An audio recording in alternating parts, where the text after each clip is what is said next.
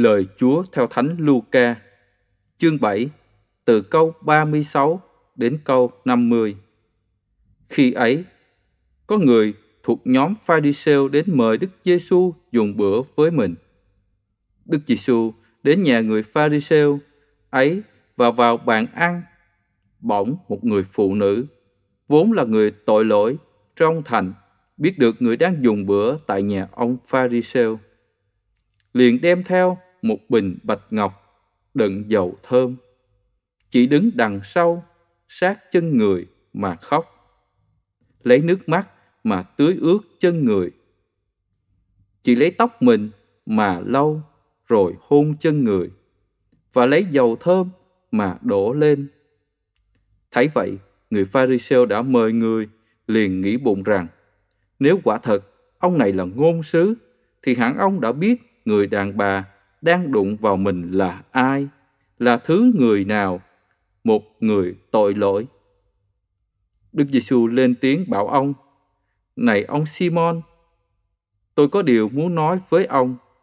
Ông ấy thưa: "Dạ, xin thầy cứ nói." Đức Giêsu nói: "Một chủ nợ kia có hai con nợ, một người nợ 500 quan tiền, một người năm chục. Vậy họ không có gì để trả, nên chủ nợ đã thương tình, tha cho cả hai. Vậy trong hai người đó, ai yêu mến chủ nợ hơn? Ông Simon đáp, tôi thiết tưởng là người đã được tha nhiều hơn. Đức Giêsu bảo, ông xét đúng lắm. Rồi quay lại phía người phụ nữ, người nói với ông Simon, ông thấy người phụ nữ này chứ?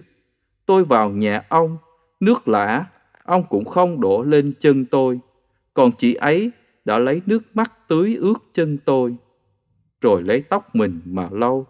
Ông đã chẳng hôn tôi một cái, còn chị ấy từ lúc vào đây đã không ngừng hôn chân tôi.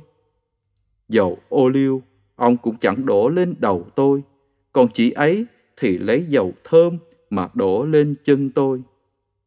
Vì thế, tôi nói cho ông hay, tội của chị rất nhiều, nhưng đã được tha, bằng cớ là chị đã yêu mến nhiều.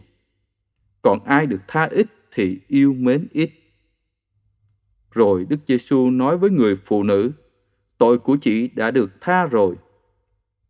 Bấy giờ, những người đồng bàn liền nghĩ bụng, ông này là ai mà lại tha được tội? Nhưng Đức Giêsu nói với người phụ nữ, lòng tin của chị đã cứu chị. Chị hãy đi bình an.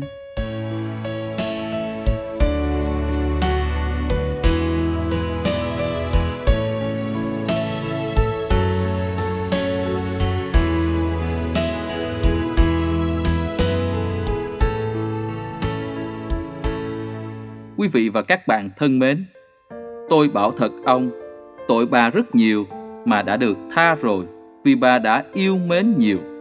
Lời khẳng định này, Chúa Giêsu là một giáo huấn rất quan trọng trong việc nhận ơn tha thứ của Thiên Chúa. Chúng ta đón nhận ơn tha thứ của Chúa nhờ vào lòng yêu mến, tin tưởng hơn là chỉ dựa vào những biểu lộ sám hối bên ngoài. Quả thế, người đàn bà tội lỗi bị người ta phán xét vì những hành vi bất chính của bà. Thế nhưng khi đến cùng Chúa Giêsu, bà đã thành tâm biểu lộ lòng yêu mến và sự sám hối từ đáy lòng mình. Vì thế bà được Chúa tha thứ. Trái lại, ông Simon biệt phái, dù là người có thể nhận xét, ông có thể là đoan chính vì cung cách hiếu khách bên ngoài, nhưng vì lối sống đạo phô trương của những người biệt phái. Thế nhưng tội lỗi của ông không được thứ tha vì lòng yêu mến và niềm tin của ông yếu kém. Ngày nay vẫn thế. Giáo hội luôn nhắc nhở các Kitô hữu những việc cần thiết trong việc xưng thú tội lỗi để được lãnh nhận ơn tha thứ là xét mình, ăn năn tội, xưng tội và đền tội. Nhưng khi trong hoàn cảnh cấp bách không thể đến cùng linh mục để xưng tội, hối nhân cũng vẫn có thể lãnh nhận ơn tha thứ nhờ vào việc ăn năn tội cách trọn nghĩa là sự ăn năn tội xuất phát từ lòng yêu mến Chúa trên hết mọi sự và dốc quyết từ bỏ tội lỗi, quyết tâm xưng thú tội sớm nhất có thể. Lạy Chúa Giêsu, xin cho chúng con lòng yêu mến Chúa tha thiết. Để trong mọi hoàn cảnh của cuộc sống, chúng con luôn biết tín thác, yêu mến Chúa luôn mãi. Amen.